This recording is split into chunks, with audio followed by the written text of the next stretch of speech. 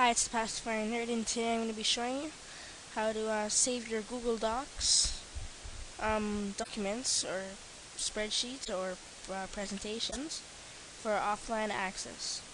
Um, so you're going to need to open up your internet browser. I'm using Google Chrome. You're going to want to go to google.com dot com slash docs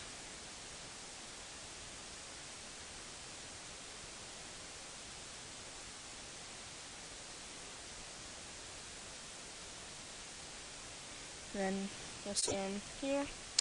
Then you're gonna need um, if you're on Firefox you're gonna need to get the um, Gears Firefox extension so you can go to gears.google.com oops shoot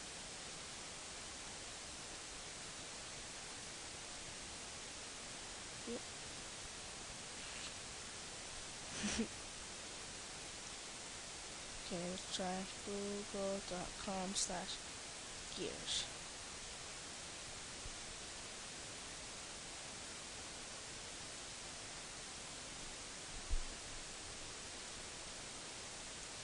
Then let's just Google it.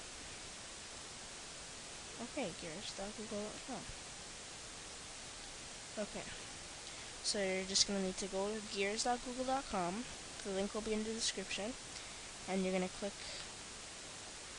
whatever is here to download now and install the Firefox extension.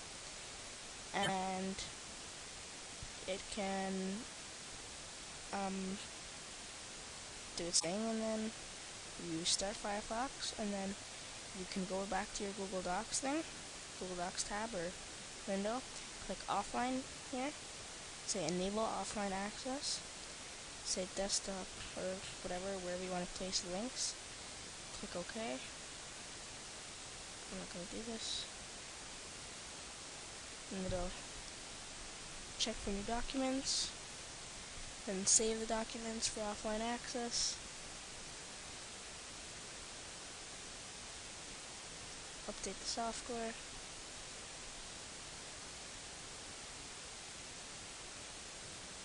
Yeah, you can still see create desktop shortcut. It's still all this stuff, yep. So yeah, when you turn off the internet, like for example, turn it off here, internet's off.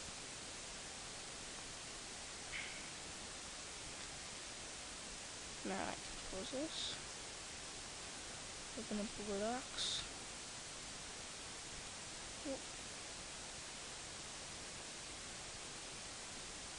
Okay, I'm gonna need my email address. There you go. And I have all of these here.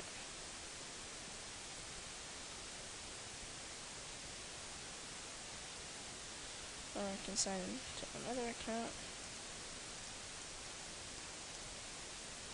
This one's not available because I never finished letting it save, but as you can see with my other account, it was working. It's on the internet now and you can do the same thing for Google Calendar.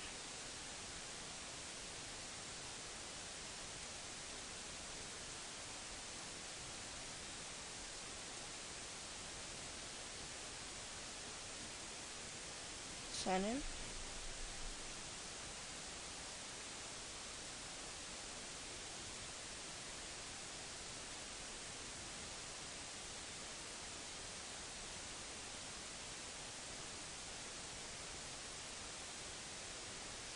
And then you can do the same thing, click offline, enable offline access, create your shortcuts.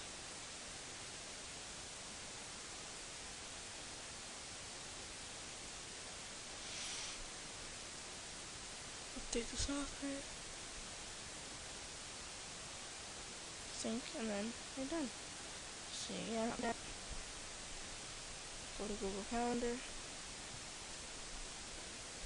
and there you go. Last synced less than a minute ago. And you can see says I'm offline. Can no longer sync it. And there you go. You can also do the same thing with mail, same manner, just click offline, enable, and that's pretty much the same. So, um, thank you for watching this video, um, comment, rate, subscribe.